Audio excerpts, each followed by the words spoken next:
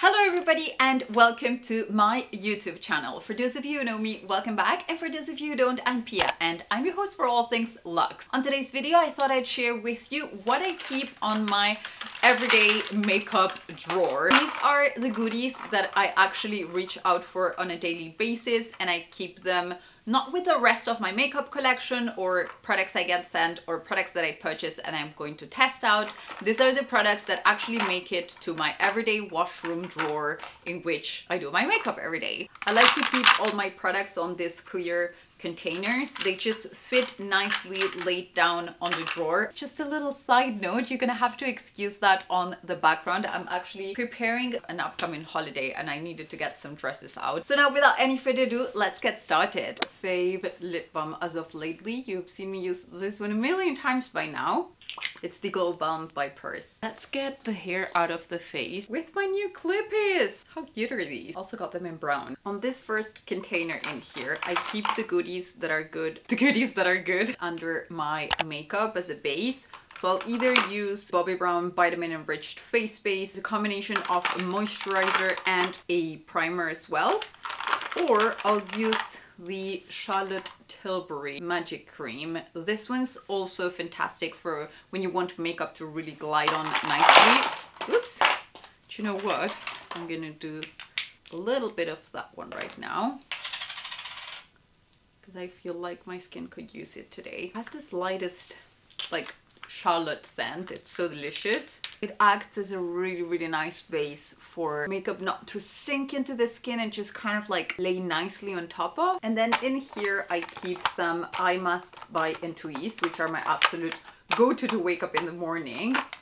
And I'll also keep some rescue mask from Eve Lom. This is fantastic for when my skin's acting out, which hasn't really been the case since different, but I'll still do one from time to time because it's got that really nice white clay to deeply cleanse the skin. And whenever I want a moisturizing mask, I'll use this one from Valmont. So I know that's not makeup, but it kind of like goes hand in hand, doesn't it? On the other container of my daily skincare slash girly whatever goodies because lip balm I've just shared with you. A little bit of different for acne my Effaclar cream for when I want something super light, super soothing. And then I also have another one from La Roche-Posay. This one's the Cicaplast. If you're trying to repair your skin barrier once again after some acne issues, this is a great product. I feel like I look like a schoolgirl with my look and the little hair thingies, but it doesn't when you have the full look with the denim and the nice bag and all that. But anyway, two of my Intui's serums. These ones are my eye serum, which I use every single day and then I've got my NAD Plus face serum. This cream, which I actually use in my body, I don't know if it's a face cream or a body cream, but I like it on my body. La Prairie Skin Caviar Luxe Cream for the eye area. I actually finished my face one, so I should get some more of that.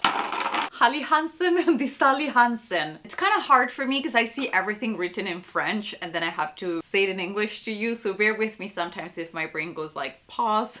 Cuticle oil that I like to apply at night time. And then I've got my everyday perfume in here for colder days, which is the Hermes Ambre Narguile. Although it's not what I'm wearing today. Today I'm wearing Victoria Beckham San Isidro, the yellow bottle which I'm also very much enjoying this day. The first official container for makeup. It's got all of my base products in it. I've got two of the Hermes foundations. I keep this ones in the shade Palomino and Chambre. They're my most tanned or least tanned shade and then I'll mix both in like I'm gonna do today actually, which is kind of a perfect match for me on days when my fake tan's fading out. This foundation is lovely. It's got very nice skincare properties and it's got great coverage. It's a little bit luminous. It just really makes it look like your skin but better. It's definitely buildable if you want to add a little bit of extra coverage. Some of the other foundations I keep in here, the Chanel one, which is a really recent purchase for me. This is a very light water fresh tint. I think it's like 70 75% of it it's water. I also like to keep the Bobbi Brown Skin Longwear Weightless Foundation. This was got 15 SPF, great coverage, a little bit luminous, just a really nice proper base product if you're maybe going to a party or something like that. And then I like to keep in here two other products. This is the Wonder Glow by Charlotte Tilbury. It's actually a glowing primer, but I like to mix it in with foundation. On days in which my skin's dull, I feel like something like this mixed in with the foundation as opposed to before the foundation makes you look just like with that extra glow. A product I really love and cannot go on holiday without. This is the By Terry CC Serum. This is a brightening CC Serum. I use it in the shade Sunny Flush number four and it's great for like having a little wash of color with a little bit of extra glow during holiday time under the sun. Moving on to the under eye area, I only keep three products in here and I used to only keep two but now recently I added a third one. This is the Skin Full Cover Concealer. It's by Bobbi Brown and it has to be one of my favorite full cover concealers for the under eye area. It doesn't set on the creases, it adds luminosity and it's a perfect color correction match for me. I also keep in here the latest edition from Chanel. And then I keep in there the Banana Low Lighter from Rodial. This is a fantastic product from really adding light under the eye area. In the next container, I keep my eye products. And in this moment, I have this combo that I've been obsessed with for months and I haven't really changed it. I just keep on repurchasing these two products. And it's the Dior Show Brow Styler combined with the Charlotte Tilbury Eyebrow Fix. It's one of those retractable thin pencils and that's something I appreciate because some of them are worth the sharpening. But the eyebrow, I don't want to have to sharpen my eyebrow pencil. Honestly, besides the color match and the fact that it doesn't smudge, this is the main reason why I love this one. It also comes with a little spoolie. We've got an owl in the backyard. I don't know if you can hear it. I'm just hoping she'll be there by the time I'm done filming this video and I can take a little peek at her.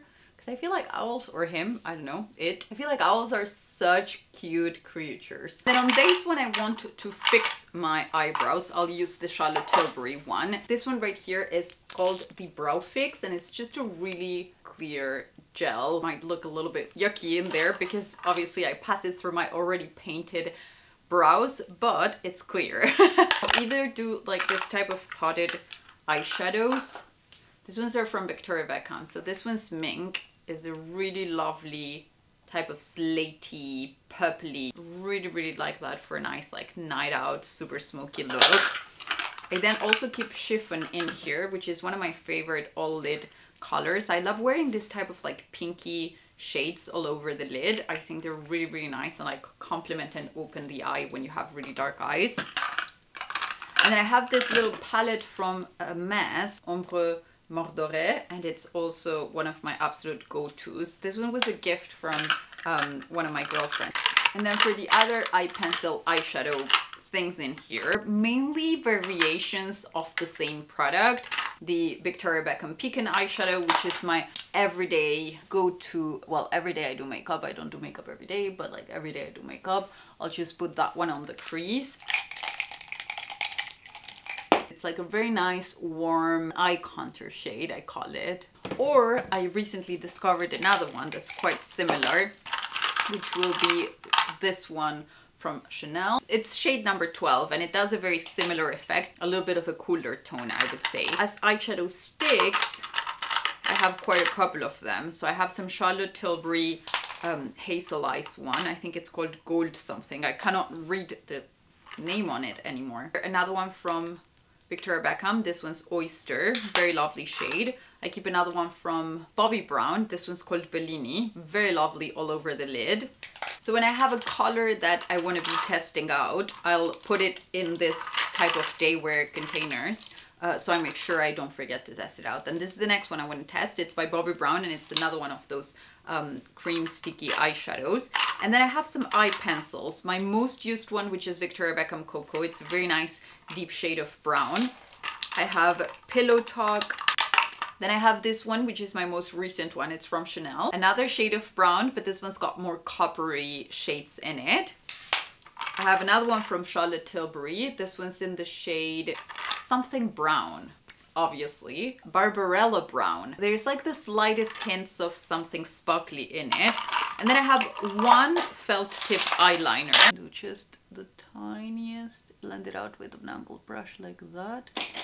there we go. When it comes to my bronzers, I have a couple. Most, most used one will be Terracotta by Guerlain. This is a color I keep on buying over and over and over again ever since the beginning of times. This is in the shade Medium Doré and it's shade number three. I also have another one for when I'm a little bit more bronzed. This one's from Hermes, Caribbean type of holiday color and I really like it. I also like it on my eyes, like if I ever want to do like a very nice deep bronzy eye look. This one's an OG. This is a Hoola bronzer from Benefit. And then I also have a little bit of hyaluronic setting powder by Terry. And then another one that I cannot miss mentioning is this one from Charlotte Tilbury. It's refilled refillable shade number two. My latest addition to this day wear makeup is the Chanel cream bronzer. This one's one I used to love. I don't know if you've seen the video in which I showed the application of all the latest products I got. But after testing it out again recently, I had to put it back into my everyday products tray. I think it makes the skin look a little bit juicier, a little bit plumpier, and obviously sun-kissed. On the next bag, and I say the next one because I have them all like actually aligned according to the order in which I like to do my makeup in. I have my most used highlighters, Luminous Light Ambient Lighting Powder, which you can use either to settle your face or to actually use as a highlight. I have a little bit of blush that works as a highlight as well from Hermes. This one's the Rose Dorée. Then I have a palette by Charlotte Tilbury. This one's Film Star Bronze and Glow. Hermes Plein Air Corail Mojave. This is another one of those sort of trio highlighters and which you're gonna get three different highlight shades or it looks very nice also swirled all together. Super sheer healthy glow highlighting fluid. Love this. I think this is what I'm gonna go for today. And you get quite a bit of product with this one and you pump it out but don't be scared. It like really is a very sheer glow, easy to highlight the face with, and it's got the slightest scent to it that reminds me of the Chanel Vitalumière Aqua foundation in case you're into that scent as well. We're almost done. Up next, I'll do my eyelashes and I have a product in here that it's literally just arrived today. So I don't really use this one on an everyday basis, but I do use something like this on an everyday basis, only that now I had lost mine for a couple of months and um, I just got a new one in the same place where I got all of my cute little hair clips. Let's test it out. What I don't like is that it kind of like goes into your face and leaves a mark in there. So I'm not certain this is the best type of product for me. Yeah, that's a good curl. I guess I just need to get used to this because I'm used to the scissor type. If you don't hold it closed enough, it's gonna dig into your face. Anyway, that's not what this video is about. So let's move on to the actual mascaras that I use on an everyday basis. I have three, well, I have four products, but three that are my absolute go-tos. These ones are Bobbi Brown Mascara, Ilia Mascara, and the Hermes Mascara. And then the fourth one I have in here is the Chanel one, which I recently added. Today I'm gonna go in with the Ilia one. I like that it's a buildable mascara and I really appreciate the brush on this mascara. Like the formula is great and it lasts all day day, but I don't have much of a lash to hold the curl off anyway. All the hair I got given here was removed from my eyelashes. Brush of this is great for really like getting into every single one of those tiny hairs. There we go. It's a very natural finish, but it's definitely buildable. I have in here my everyday lipsticks, Comfort Pussycat and Cherry Lush, which are beautiful pink and red respectively. I have a Victoria Beckham Bitten Lip Tint in the shade Amour, which is your lips but better. Rouge Coco Flash Destination Lipstick. I've got a gorgeous one from Hermes, Rose Insoline. Really appreciate this one when it starts to get a little bit warmer or if it's really cold outside and I'm wearing like an all gray outfit I feel like a color like that kind of picks you up on an otherwise very cold and grayish day. This is Chanel Attraction you might have seen it recently from my recent haul. I also added it to my everyday ones because I loved the finish of that one and then I have two in here those type of like I have to test out products this first one which is from Oriège almost like a black currant type of shade this one in here, which is Givenchy. You know what?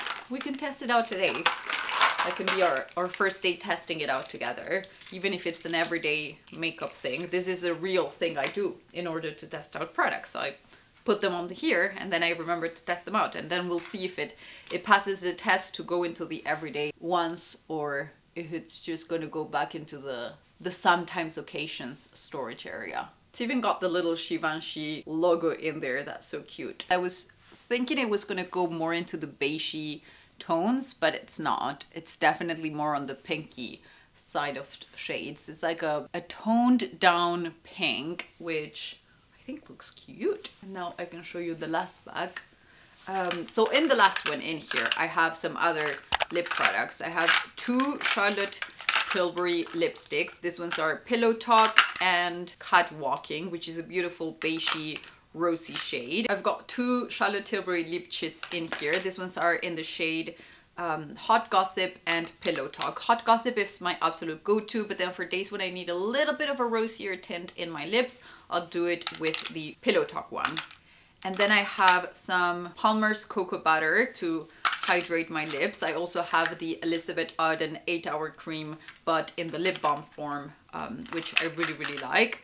I've got a Rare Beauty product that, this one was actually a gift from my husband once, and I really appreciated it during a warmer month type of look. So it's got a little bit of an orangey tint to it and it's one of those that like will just stay put no matter if you eat or drink something or whatever like it will just stay there. Oh and two more products. The REM lip gloss which is a very nice type of like sparkly lip gloss. Reminds me of my all-time favorite lip gloss that's been discontinued. It was by Dior and I used to always always always wear that. Um, and it had a little bit of a pearlescent topper part in this shade. This one in here, which is my nowadays favorite lip gloss, which is by Anastasia Beverly Hills, and the shade is Honey something. Honey Kiss. Ooh, that sounds so cute. It's just a really like honey shade type of lip gloss. And then two more products I have in here. These ones were custom made for me at the Baton Rouge lab in Paris. This is my perfect everyday nude, which you guys know I love. It's like the perfect combination of like a rosy, beigey tone for an everyday look. And then I have the lip gloss to go with it, which is also, it was made in the same shade. Alright you guys, that was it for this video. I hope you enjoyed it. And if you're not done watching, I'll leave you two more in here so you can binge a little bit more. Thanks so much for watching and I'll see you on the next one. Bye!